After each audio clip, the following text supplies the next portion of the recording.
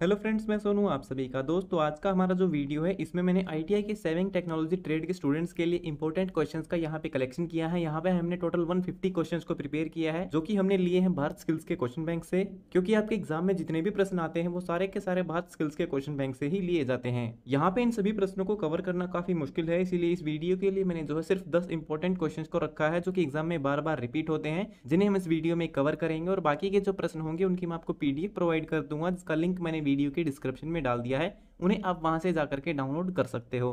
तो चलिए स्टार्ट करते हैं इस वीडियो को बिना ज़्यादा समय लिए। यहाँ पे सबसे पहला प्रश्न दिया गया है कि मनुष्य के द्वारा कौन सा फाइबर बनाया जाता है? तो मनुष्य के द्वारा बनाया जाने वाला जो रेशा है, वो होता है पोलिएस्टर जो कि ऑप्शन डी यहाँ पे आपका सही है। पोलिएस्टर एक प्लास्टिक का तत्व है, जिससे बाद में हम नायलॉन बनाते हैं। इसके अलावा जो कपास है, जो की ऑप्शन ए है, वह पौधों से प्राप्त होता है, रेशम कीड़ों से प्राप्त होता है और जो ऊन होता है, वो जंतुओं से यानी कि भेड़ से प्राप्त होती है। दूसरा प्रश्न है सुरक्षा में पीपीई क्या है? पीपीई का मतलब होता है पर्सनल प्रोटेक्टिव इक्विपमेंट जो कि ऑप्शन सी यहाँ पे आपका सही है, जिसमें व्यक्तिगत यानी कि शरीर की सुरक्षा से संबंधित सभी उपकरण आते हैं। तीसरा प्रश्न है, मानव जीवन की मूल आवश्यकता क्या है? तो मानव जीवन की जो मूल आवश्यकताएँ हैं, वो होती है रोटी, कपड़ा और मकान, जो की ऑप्शन ए यहाँ पे आपका सही है, भोजन, कपड़ा और आश्रय।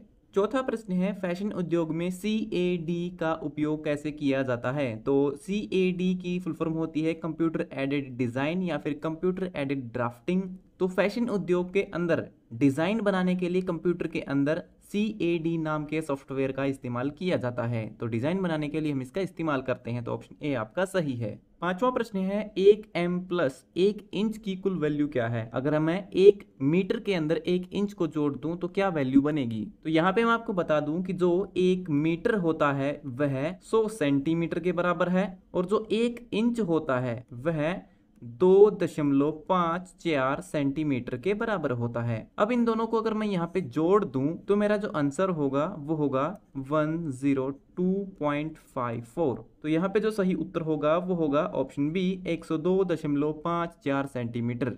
छठा प्रश्न है, इलेक्ट्रिक आग लगने पर आपको पहली कार्रवाई क्या करनी चाहिए? तो अगर इलेक्ट्रिक की आग लगती है तो सबसे पहले हमें मेन स्विच को बंद कर देना चाहिए, जिससे कि बिजली की सप्लाई बंद हो सके। सातवां प्रश्न है एक्स के रूप में चिन्हित भाग का नाम क्या है? तो यहाँ पे एक्स के रूप में जो चिन्हित भाग है, इसे हम प्रेशर फूट लिफ्टर कहते हैं, जो कि ऑप्शन डी यहाँ पे आपका सही है। आठवां प्रश्न है, हम किस हिस्से में बोबिन फिट करते हैं? तो बोबिन जो होता है, उसे हम पहले बोबिन केस में फिट करते हैं, उसके बाद उसे मशीन में लगाते हैं। नौवा प्रश्न है फॉर्मल शर्ट में उपयोग की जाने वाली जेब का नाम क्या है? तो नॉर्मली पुरुषों की जो शर्ट होती है, उसमें जो जेब होती है, वो पैच पॉकेट कहलाती है, जो कि ऑप्शन डी यहाँ पे आपका सही है। चाहे कुर्ता पाजामा हो या फिर फॉर्मल शर्ट हो, उनमें पैच पॉकेट लगाई जाती है। दसवां प्रश्न है ट्रायल रूम में आमतौर पर हर तरफ़ दर्पण क्यों होता है? तो जो ट्रायल रूम होता है, जितने भी कपड़े के शोरूम होते हैं, उनमें आपको ट्रायल रूम देखने को मिलेंगे, जहाँ पे लोग कपड़ों को चेंज करके देख सकते हैं कि वो कपड़े उन पर अच्छे से फिट आ रहे हैं या फिर नहीं। तो इस प्रश्न का जो सही उत्तर होगा, वो होगा ऑप्शन ए